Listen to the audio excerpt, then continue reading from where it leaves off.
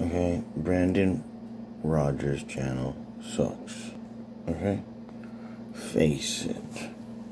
Okay, his, his content is is all over the place. I mean, I'm sure he's a good person. You know what I'm saying? I'm not making I'm not making fun of him in any way.